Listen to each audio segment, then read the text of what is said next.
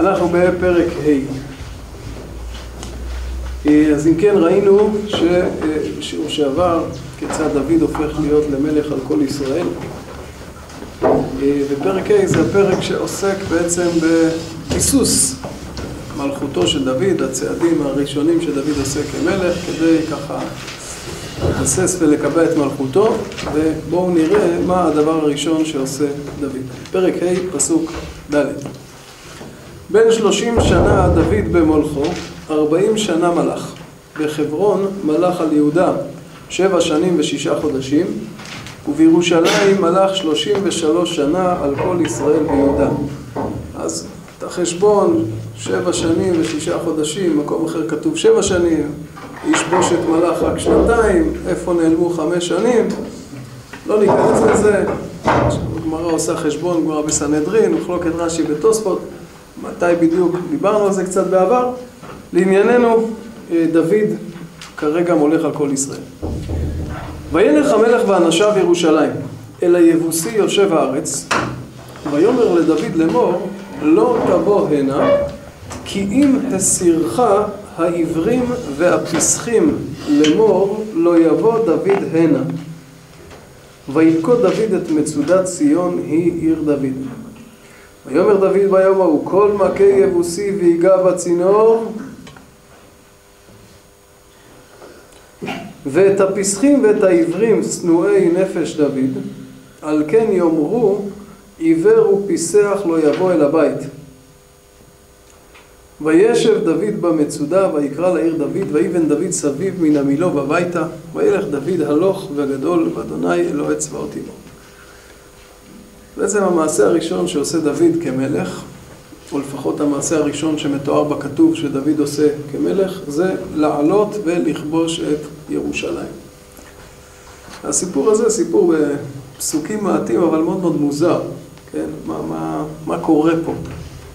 מי אלה העברים והפסחים? לא תבוא הנה כי אם מסירך העברים והפסחים. מי אלה? דוד פה מבטיח איזו הבטחה. כל מכה יבוסי ויגע בצינור, ואת הפסחים ואת העברים שנואי נפש דוד, אז מה, מה יקרה? משהו, כן? הוא עוד לא החליט. מי שזה, יהיה בסדר. אז, אז האמת היא שלא צריך ללכת רחוק כדי לגלות את הסוד, בדברי הימים זה כתוב. דוד לא התבלבל, הוא כן ידע בדיוק מה הוא מבטיח, ובדברי הימים כתוב שדוד מבטיח שמי שיצליח ככה להיכנס פנימה ולכבוש, להביא לכיבוש העיר, יהיה שר הצבא. ומי הוא זה שזוכה בה? יואב. ופה משום מה, דברי תורה עניים במקום אחד והשירים במקום אחר. אז זאת שאלה, כתוב השמיט את זה פה וסיפר את זה שם, זה זוקי כוונה. כן? יש פה איזה צינור, כל מכה יבוסי ויגע בצינור. מה, מה, מה זה הצינור הזה? ומי מתואר את הפסחים ואת העברים שנואי נפש דוד? ביטוי מאוד קשה. שנואי נפש דוד. דוד היו הרבה אויבים. הרבה מלחמות הוא נלחם במהלך חייו, אבל לא... כן? רבים זכו לתואר הזה, שנואי נפש דוד, על מה ולמה, מה, מה קרה פה, מה קורה פה בכלל. אבל אולי לפני הכל נפתח, או אתם יודעים, אולי לפני זה, סליחה. דוד כובש את ירושלים. ירושלים נכבשה, או שעוד לא? מצד אחד, טוב, אם דוד כובש, אז כנראה שעוד לא, ומצד שני אנחנו מכירים תיאור של כיבוש ירושלים, נכון? הופיע פעמיים. בואו נסתכל למשל בספר שופטים, פרק א' בספר שופטים. ושם כתוב, פסוק ח' וילחמו בני יהודה בירושלים וילכדו אותה ויכוה לפי חרב ואת העיר שילחו באש אז ירושלים נכבשה נכבשה, נכון? התיאור הזה מופיע גם בספר יהושע. מה, מה? זה הרבה זמן לפני דוד. כן, אז אתה אומר שמה? זה הרבה זמן לפני. זאת אומרת שיכול להיות שהם כבשו הרבה פעמים וכבשו את זה בחזרה. כן, רק בספר יהושע, ב- בסוף פרק ט"ו כתוב ואת היבוסי יושבי ירושלים לא יכלו בני יהודה להורישם וישב היבוסי את בני יהודה בירושלים עד היום הזה. אז, אז יהודה הורישו את ירושלים או לא הורישו את ירושלים, כן? מה, מה בדיוק קורה שם? רגע, זה- באותו זמן? זה באותו מרחב הזמן הרב? מה? מה שבפרק בפרק ט"ו ביהושע, ובשופטים פרק א'? זה זה אותו כן, מרחב. כן, כי הרי אתה רואה שיהושע נותן לך איזשהו מרחב זמן ארוך עד עצם היום הזה, זה- אז מתי זה בדיוק היום אה. הזה, כן, זאת שאלה, אבל אה, בפשטות כן, כן. אז אז יש לזה, יש לזה כל מיני פירושים בפרשנים, יש מי שאומר שבעצם ירושלים הייתה מחולקת לשני חלקים, כן, העיר העליונה והעיר התחתונה, אנחנו מכירים את זה גם בתקופות מאוחרות יותר, אז חלק אחד כבשו וחלק שני לא כבשו, כן, אחד ההסברים. יש מי שמחלק בין המרחב שנקרא ירושלים לבין עיר המבצר שנקראת ירושלים. לא, בין כך ובין כך הפסוקים ככה משאירים אותנו בסוג של ערפל, משהו כנראה לא נכבש ואותו דוד מבקש לכבוש עכשיו. לפני הכל, לפני שננסה להבין קצת את הסיפור המוזר הזה, אני חושב שאולי השאלה היא מדוע בעצם דוד הולך לכבוש את ירושלים, או ליתר דיוק, מדוע דוד בוחר לכבוש את ירושלים כדי להפוך אותה למקום מלכותו, לעיר הבירה. תשאלו, מה השאלה? זאת אומרת, אם לא ירושלים, אז מה כן? מה, תל אביב עוד לא הייתה קיימת, נכון? אה? כן. ירושלים, עיר הקודש, המקדש. וואו. נקודת ההנחה, נקודת ההנחה של השאלה הזאת היא שהייתה מסורת שמה? של הר הבית. זה- אה, אז ממילא אין שאלה. זאת אומרת, אתה אומר, יש מסורת. יש מסורת שירושלים היא עיר מקדשנו, ואם ירושלים היא עיר מקדשנו, אז ברור, למה דוד? מה השאלה בכלל? למה- לכבוש את ירושלים? אפשר לשאול כזאת שאלה. אתה מבין שאם זאת התשובה, אז אתה עכשיו פה מציב סימן שאלה גדול מאוד על מי? דוד המלך. על עם ישראל, על יהושע, על השופטים, על שמואל, על שאול. זאת אומרת, אם ירושלים, רק אומר ככה, אם היה, הייתה מסורת, אם היה ברור שירושלים זה המקום אשר יבחר השם, בואו נעשה סדר, בתורה אין ירושלים, נכון? בתורה כתוב פרשת ראה, מרכז הפרשה, מופיע אחרי זה שוב פעם, המקום אשר יבחר השם. לשכנו תדרשו ועד השם. מה זה אותו מקום? תורה לא כתוב. אז אתם אומרים, הייתה מסורת, שהמקום הזה זה ירושלים. ואני אה, מרים גבה בעניין. האומנם? חז"ל, אז א' תראה לי. יש רמז, בין תל שכן. מה, מה? יש רמז, הוא בין תל שכן. אתה יודע כמה ערים יש בירושלים? ובין, כת- או בנחלת בנימין? זה פער, שדווקא לא הכי גבוה, שנמצא בשניים, רואים את זה. אני יכול למצוא לך עשרה. לא, כן, אני לא... אני יכול למצוא לך עשרה מקומות כאלה בנחלת בנימין. הרי בנימין, בלי עין הרע, הרים לא חסר שם. אפשר למצוא כמה שאתה רוצה. אני חושב- שדווקא הפוך, ראינו כשדוד לפני שהמלך ברח ל- לבית מילה של שמואל, זה מה שהם עסקו, הם עסקו בבירור מקום המקדש. זה מה שאמרו חז"ל. אה, כן, אז אתה אומר, אתה- מציע ככה, כלומר, דוד יושב אצל שמואל, זה. אה. זה אומר שזה, א', זה אומר שזה לא היה ידוע. כן. של- של- כן. להיות שזה היה מסורת, שדברים אה, מסוימים קרו שם, יכול להיות שכולם ידעו ששם האדם הראשון בנה את המזבח, ונוח בנה את המזבח, ושם יעקב, ושם יצחק נעקד, אבל שזה המקום שבחר אותו השם, בפשטות נראה שלא כשרק אה, דוד, רק דוד אה, ידע את זה. אם בכלל, אם בכלל. זאת אומרת, אני, אני אומר שוב, תרשו לי לפקפק ב, ב, ב, בהנחה שהנחתם.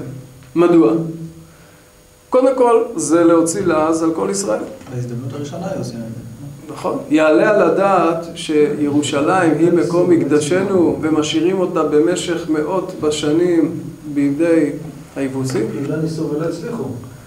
אז אתה אומר יהודה ניסו ולא הצליחו. יכול להיות, שבטי, אבל עכשיו כששמואל מאחד את כל ישראל, כששאול מאחד את כל ישראל.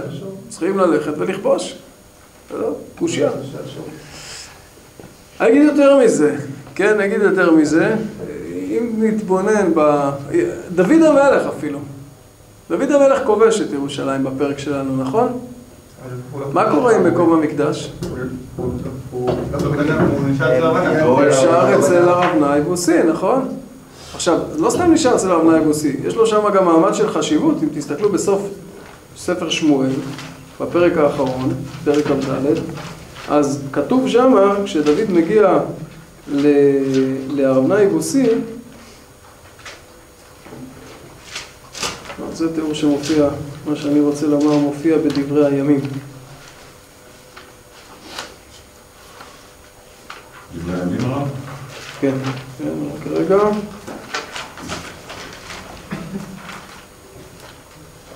כן, בדברי הימים, בדברי הימים א', בפרק כ"א,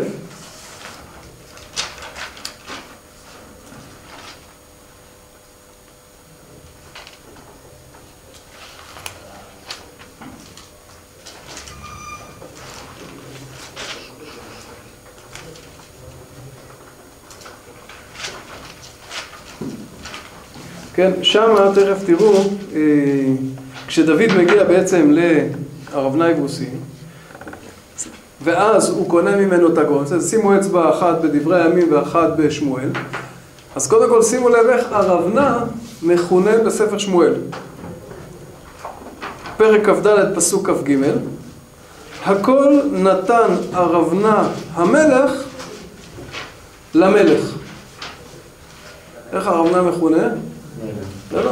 אז נכון שהרבנה הוא תחת חסותו של דוד, כן, הרי הוא משתחווה כשדוד מגיע, והוא אומר לו, מדוע בא אדוני המלך אל עבדו, הוא ודאי תחת חסותו של דוד, אבל מקום המקדש נשאר בידי הרבנה שיש לו גם מעמד, אוקיי? עכשיו, אם תסתכלו בדברי הימים, אחרי שדוד רואה, שימו לב, בפרק כ"א, פסוק כ"ו, בואו נתחיל מכ"ה. ויתן דוד לארנן במקום שקלי זהב משקל 600, ויבן שם דוד מזבח לאדוני ויעל עולות ושלמים ויקרא אל אדוני ויענהו באש מן השמיים על מזבח העולה. ויאמר אדוני למלאך וישב חרבו על נדנה. בעת ההיא בראות דוד כי ענהו אדוני בגורן ארנן היבוסי ויזבח שם. וכולי וכולי. פרק כ"ב פסוק א', ויאמר דוד זהו בית אדוני האלוהים וזה מזבח לעולה לישראל. פסוק מפורש. מתי דוד הבין שזהו בית השם? אחרי הסיפור של הרב נאי בוסי. רק כשהוא בונה שם את המזבח, אש יורדת מהשמיים, מגפה יצרת, אז אומר דוד, זהו בית השם האלוקים. פשט הפסוקים, רבותיי, פשט הפסוקים, עד הסיפור שגורן הרב בוסי, לא ברור היכן הוא המקום אשר יבחר השם. נגיד יותר מזה, הרמב"ם, הרמב"ם שואל במורה נבוכים, באמת למה לא נאמר מקום אשר יבחר השם? למה לא נאמר מהו המקום הזה? הרמב"ם אומר שלוש תשובות. שתי תשובות קשורות לגויים, אם הגויים ידעו מהו המקום הזה, הם יאחזו בו בכל הכוח. אולי הם גם ישחיתו אותו. היינו ערך גבר יוסף, שנמצא בשכם היום וכן הלאה. והסיבה השלישית שאומר הרמב"ם, והיא העיקרית, זה שאם היה ידוע היכן הוא המקום אשר יבחר השם, אז הייתה פורצת מריבה בין השבטים. כל שבט היה רוצה את המקום הזה. יהושע מחלק נחלות, זה מקבל פה, זה מקבל פה, זה מקבל פה, בסדר. אבל אם היו יודעים שהמקום אשר יבחר השם זה ירושלים, מה פתאום אתה נותן לי פה, אני רוצה את ירושלים, אני רוצה קרוב לירושלים. כך טוען הרמב"ם, זאת אומרת לפי הרמב"ם מפורש שבכוונה המקום הזה נסתר, כן?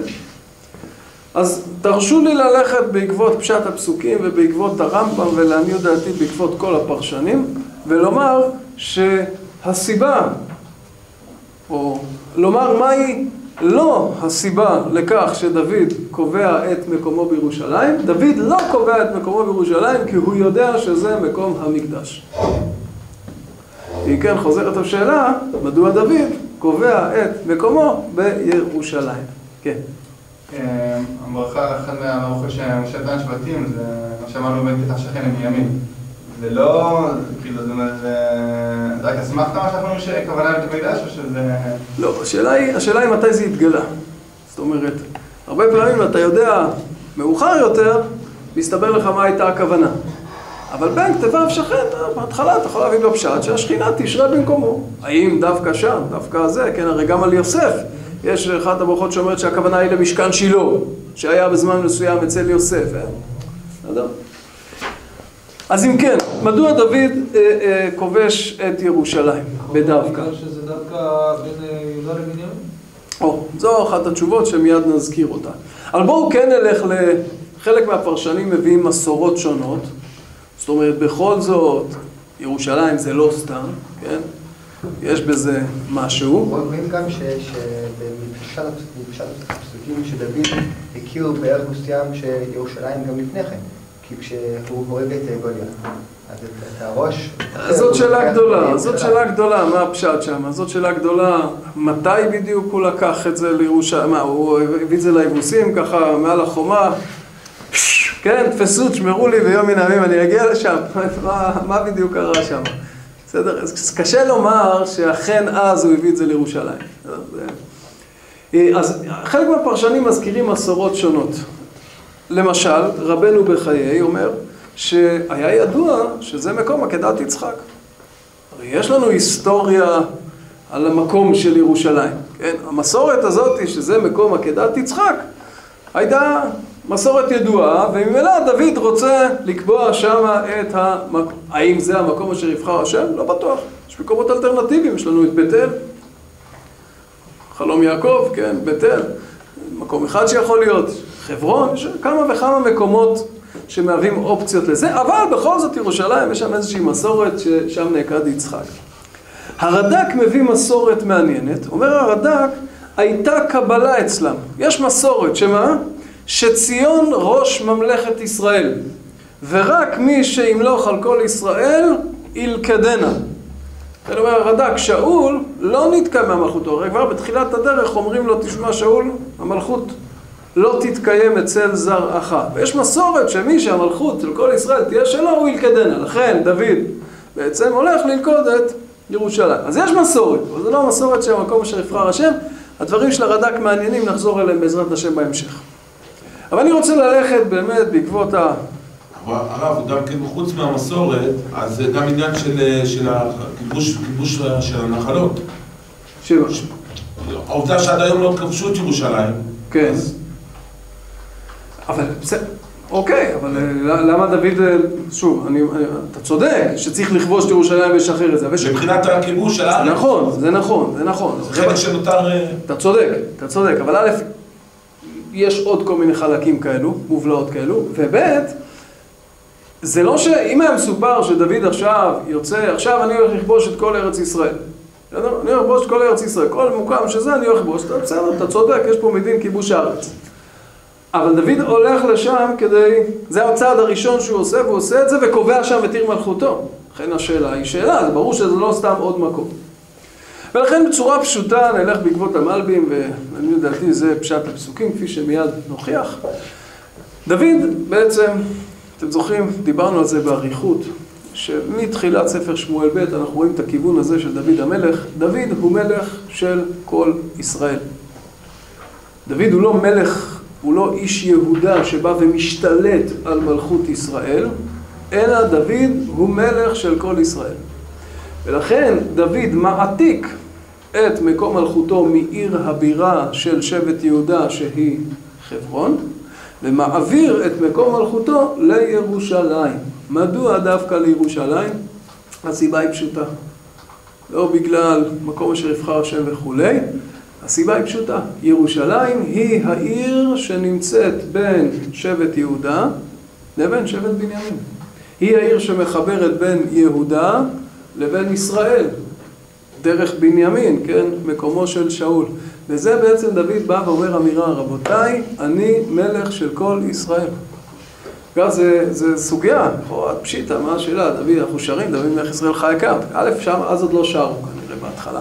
אבל זה, זה לא, עוד בסוף ימיו של דוד, אנחנו נמצא את הוויכוח הזה. אחרי מרד אבשלום, כשמחזירים את דוד וצריכים להעביר אותו, את הירדן, את הנהר בחזרה לעבר הירדן המערבי, מתפתח ויכוח בין שבט יהודה לשאר שבטי עשרה. מי יעביר את דוד? אומרים שבט יהודה, מה זאת אומרת? הוא שלנו. אומרים להם ישראל, מה פתאום? לכם יש יד אחת במלך, לנו יש עשר ידות במלך. וואו, יש פה ויכוח, דוד הוא מלך ישראל או דוד הוא קודם כל ש- שבט יהודה? דוד רבותיי עושה מעשה ואומר פה אמירה, זה המעשה הראשון שלו כמלך. דוד במעשה הראשון כבר מתווה את הכיוון שלו ואומר רבותיי אני מלך של כל ישראל. עכשיו אל יקל הדבר בעיניכם. מדוע? זה המנהיג הראשון שלא קובע את עיר מלכותו בנחלת שבטו. יהושע ישב הר אפרים, נכון? נחלת שבט אפרים. שאול יושב בגבעת בנימין, בגבעה שהיא אצל בנימין, גבעת שאול בבנימין. כל השופטים, טוב, שם כל שופט הוא שופט מקומי. כלומר, לדורות כל מלך קובע את עיר מלכותו במחוז שלו, והסיבה היא פשוטה. אצלך זה מעוז הכוח. שם אתה מוקף באנשים ששומרים עליך, האנשים שנאמנים לך ביותר, זה מעוז כוחך. מעוז כוחו של דוד זה יהודה, זה חברון, אולי בית לחם. ירושלים זה גם ביהודה. מה, מה? ירושלים זה גם אצל יהודה. ירושלים זה כבר גבולי. רוב ירושלים אצל בנימין. אצל בנימין. אבל בכל מקרה, זה גם אם זה יהודה, זה הקצה של יהודה, כן? זה לא המקום המרכזי. אני להגיד יותר מזה, דוד גם הולך לשלם על זה מחיר כבד. מדוע? כי המעשה הזה מעורר תרעומת מובנת אצל אנשי יהודה. אומר, זה לא בסדר, דוד. כן? כשאתה היית שמה בניכר, כשאתה נרדפת על ידי שאול, מי היה איתך? אנחנו היינו איתך, נכון? גדוד שם 400, אחרי זה 600 איש מיהודה. אנחנו היינו איתך. כשאתה שם נרדפת, היינו איתך, היינו נרדפים, כן? היינו מבוקשים, נדדנו. מצד שני היה גם, אה, היה גם ערי, אה, ערי יהודה שהסגירו את זה. היו גם כאלה, נכון, היו גם כאלה, אבל ודאי ש, שאתה עכשיו מלכת על, עלינו, ישבת אצלנו. היה מלחמות בין יהודה לישראל, נלחמנו בשבילך, אנחנו היינו איתך. אז עכשיו שסוף סוף אתה מלך ישראל, עכשיו שסוף סוף אתה מחזיק בקופת המדינה, שסוף סוף אתה מחזיק בחלוקת המשרות, מה אתה עושה? אתם יודעים מה זה לשים את הארמון בחברון? זה לא סתם. חבר'ה, כמה משרות יש שם סביב המלך? המאבטחים, השומרים, פקידי האוצר וכדומה, כל זה משרות לאנשי יהודה. הם מסודרים כלכלית. בסדר, בונים את עיר הבה"דים בדרום, הנגב פתח כלכלית. תראו לכם מה זה אם היו שמים את עיר המלוכה בירוחם, בבאר שבע, בדימונה. זה, הרמת. את הפריפריה. אז מה, עכשיו אתה הלך, שם בירושלים, מי יקבל את הג'ובים? אנשי בנימין, זה לא בסדר. אם נשווה את זה רגע לימי שאול, כן? בשמואל א' בפרק כ"ב, אומר שאול לאנשי בנימין, פרק כ"ב, פסוק ז', ויאמר שאול לעבדיו הניצבים עליו, שימונה בני ימיני, גם לכולכם ייתן בן ישי שדות וכרמים, לכולכם ישים שרי אלפים ושרי מאות. הלו, חבר'ה, תתעשתו, מה קורה? אף אחד לא מספר לי איפה דוד? מה אתם עם דוד? מה, מה אתם חושבים? אתם חושבים שכשדוד ימלוך, אז בני בנימין יהיו שרי אלפים? יהיו שרי מאות? יהיה להם שדות? יהיה להם חרמים? למי יהיה את כל זה? יהודה. זה יעבור ליהודה, נכון? ניבא ולא ידע מה ניבא. כשדוד בשלטון זה לא עבר ליהודה, זה גם נשאר אצל בנימין. או במילים אחרות, בעצם דוד אומר, רבותיי, אני שייך לכלל ישראל, וזה מעורר תרעומת אצל אנשי יהודה. ולכן, לימים כשאבשלום יכריז על המרד, אז איפה הוא יכריז על המרד? הוא יכריז על המרד בחברון. הוא ילך לחברון, והם מצטרפים אליו. מדוע? מה הוא בעצם בא ואומר? רבותיי, חזרתי הביתה, אני נאמן לכם, אני יודע מאיפה צמחתי, אני יודע למי אני שייך. בואו ותהיו איתי ותקבלו זרי אלפים, זרי מאות, שדות וחמים. כן, וואלה, שווה. דוד משלם על זה מחיר, אבל דוד משלם על זה מחיר כי זה האני מאמין שלו, כי דוד הוא מלך ישראל. ולכן יוצא דוד לכיבוש ירושלים.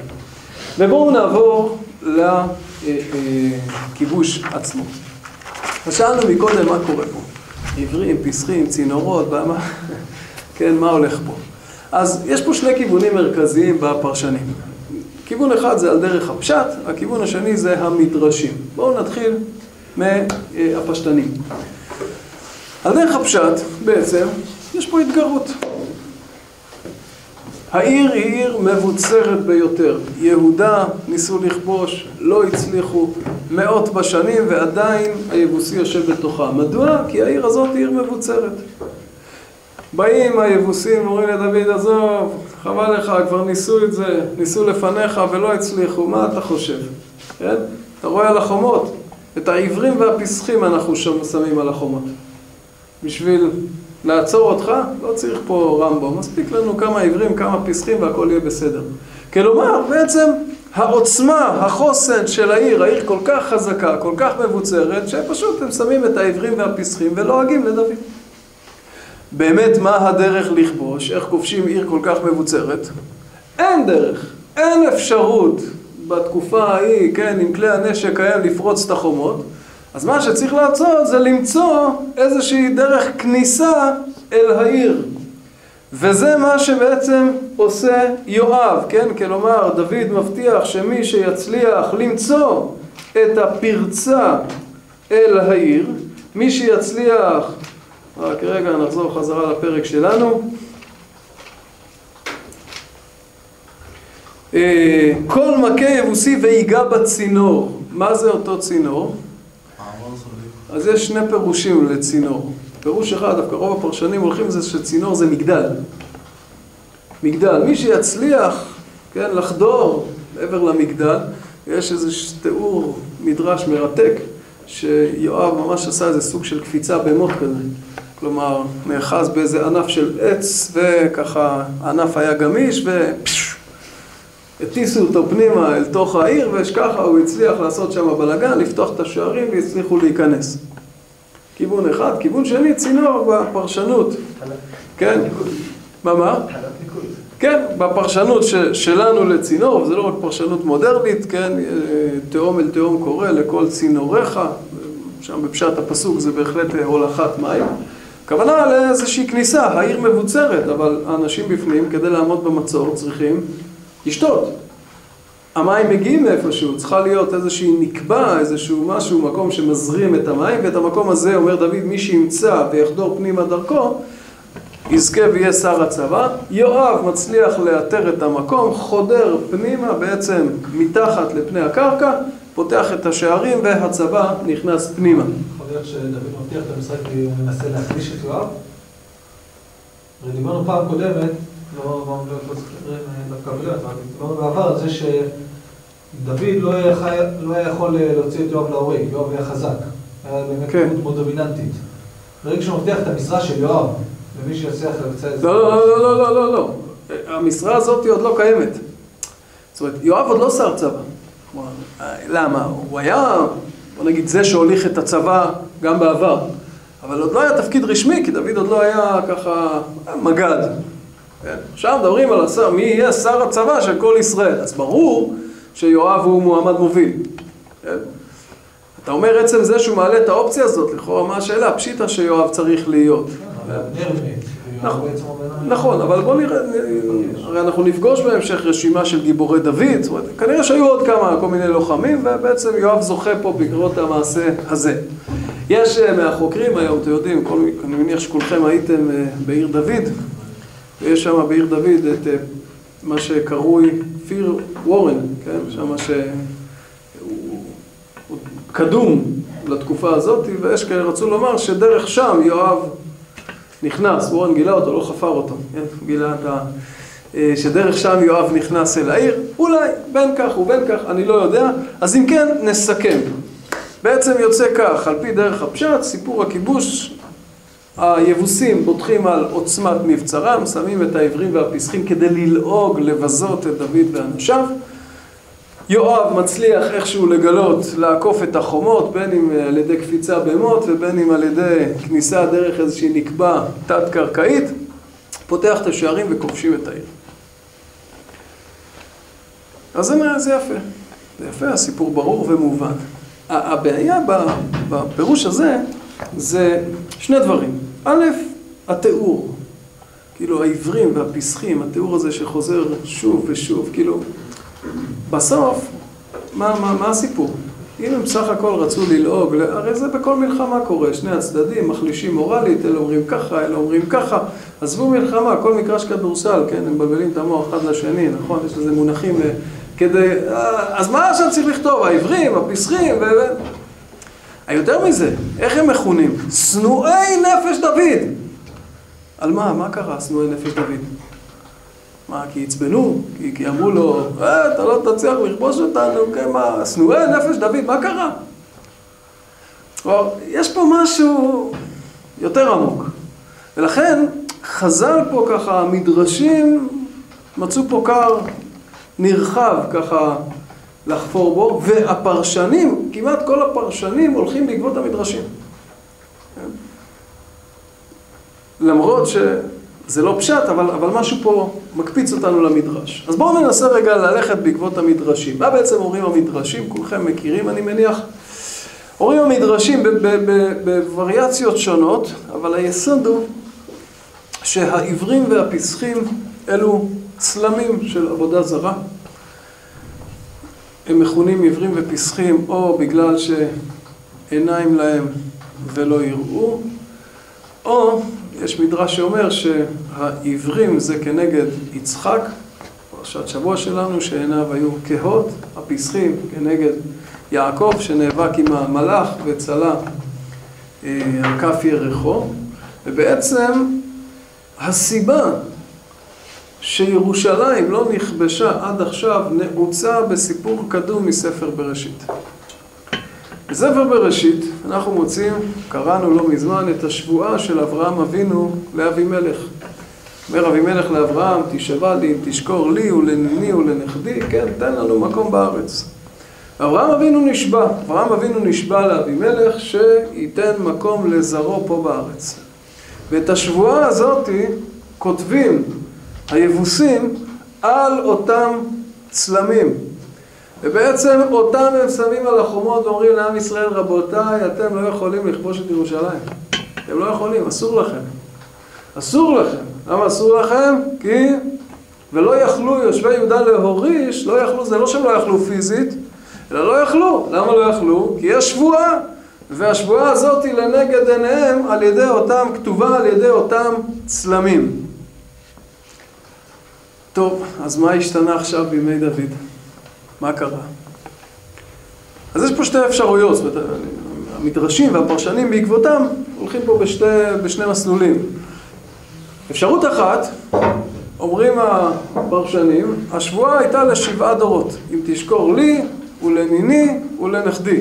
בימי דוד עברו שבעת הדורות. אז הם שמו את העברים והפסחים, ואותם עברים ופסחים בעצם, כן, יש שבועה, אתה לא יכול לזה, אבל הם לא ידעו... רק שבע דורות, זה בערך 700 שנה. שאלה טובה, איך בדיוק השבעה, איך מונים בדיוק את השבעה דורות הללו, כן? זו באמת שאלה טובה, אבל אפשר, אפשר, אפשר לבנות, האריכו ימים בערך זה, בואו לא ניכנס כרגע לזה, זו שאלה טובה. זמנה של השבועה תם בימי דוד. אה, מזל, כן? הזמן של השבועה, אפשר להיכנס ליגה, הם לא ידעו, דוד ידע, וקדימה להסתער. אפשרות שנייה, זה שכל זמן שהצלמים הללו עומדים, אין היתר, אין אפשרות להיכנס לכבוש את העיר. ברגע שהצליחו להרוס את הצלמים שעליהם כתובה השבועה, זה יפתח את הדרך לכיבוש העיר. אז מה שעושה יואב, יואב מצליח לחדור אל העיר מלמטה, מלמעלה, להכות ולהרוס את הצלמים, ואז בעצם מתיר את הדרך לשחרור ירושלים. כיוונים השונים של המדרש.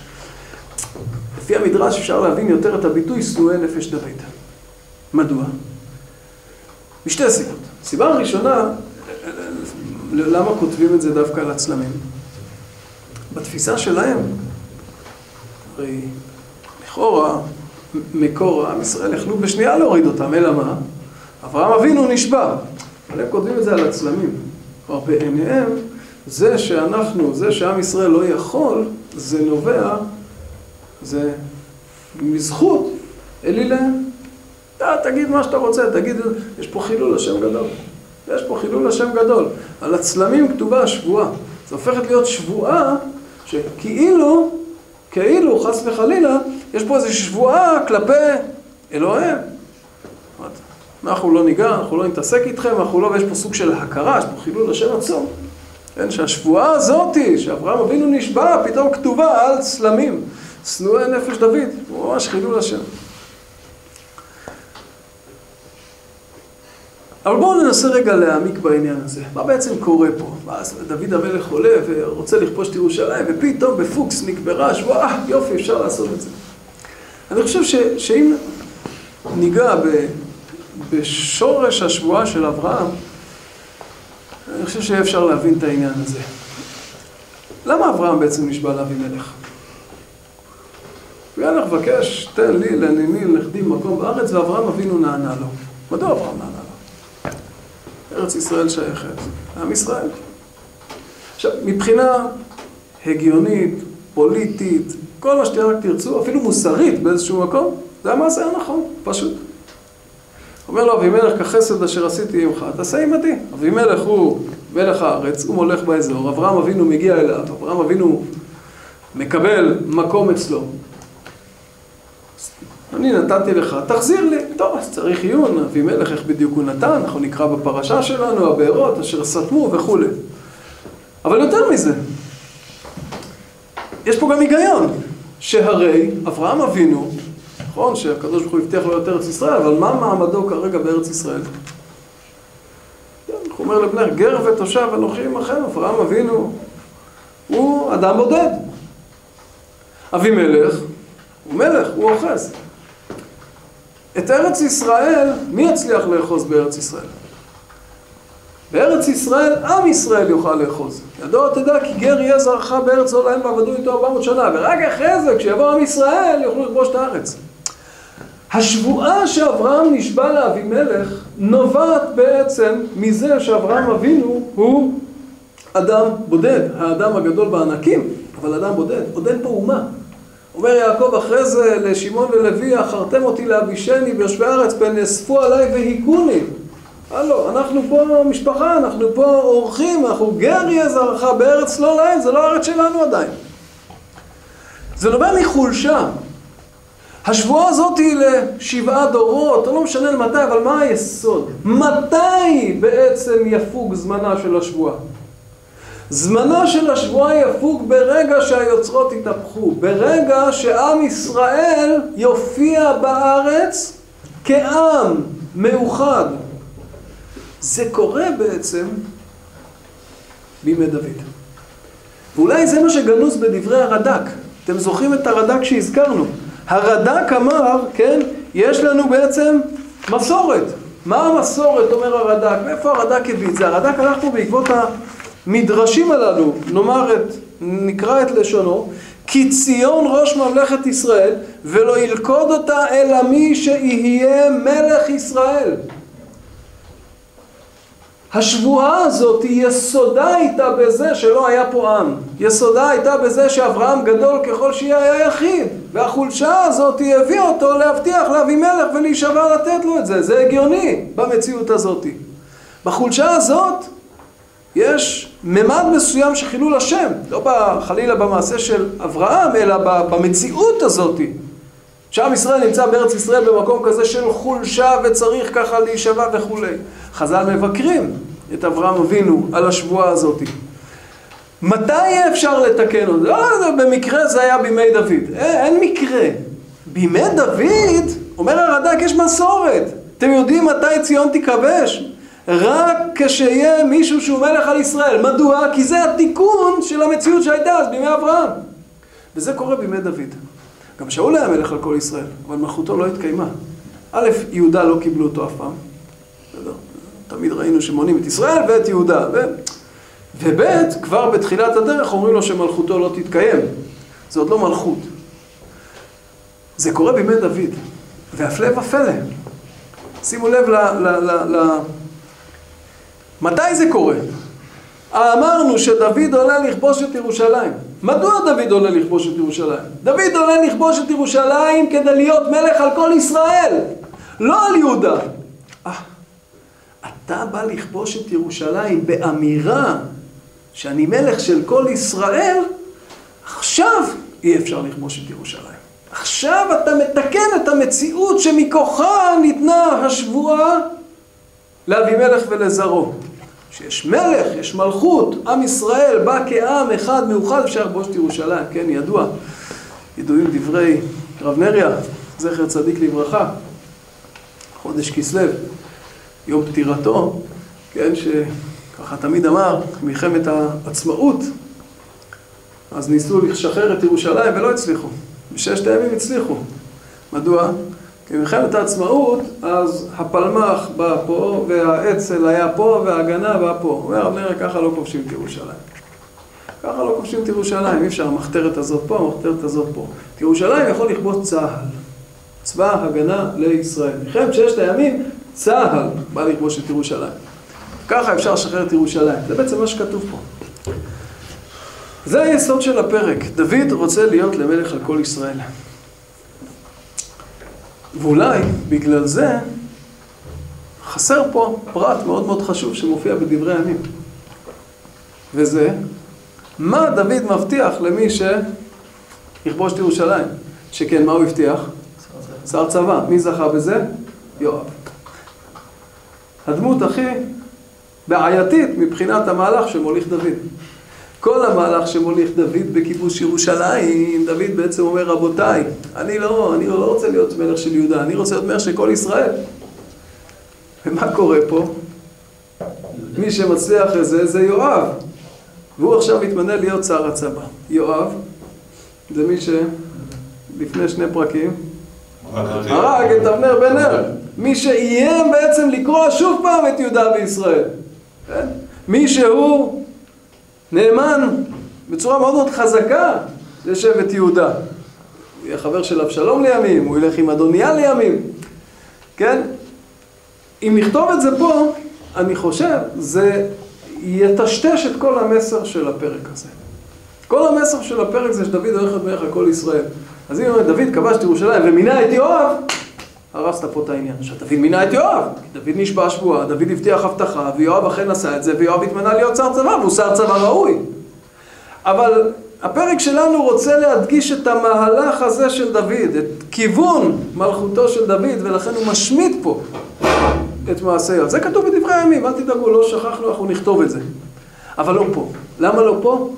כי, כי המעשה הזה היה מטשטש את הרעיון שעומד ביסוד המעשה הזה של דוד. דוד, מלך ישראל.